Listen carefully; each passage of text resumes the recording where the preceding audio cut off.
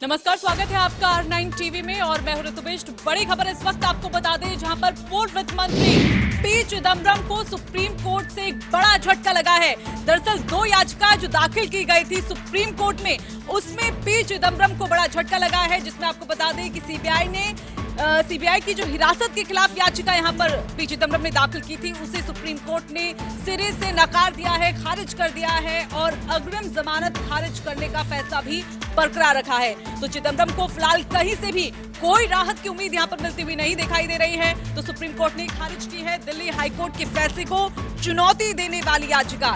इसके साथ ही supreme court ने इस पूरे मामले पर दखल देने से साफ़ इनकार कर दिया है। यानी कि अभी राहत के जो दिन है, वो पी चिदम्बरम से कहीं ना कहीं दूर यहाँ पर दिखाई दे रहे हैं। इसके साथ ही सुप्रीम कोर्ट ने कहा है कि नियमित जमानत की वो अपील कर सकते हैं। उनका कहना है कि सीबीआई रिमांड के खिलाफ जो याचिका उन्होंने दाखिल की है।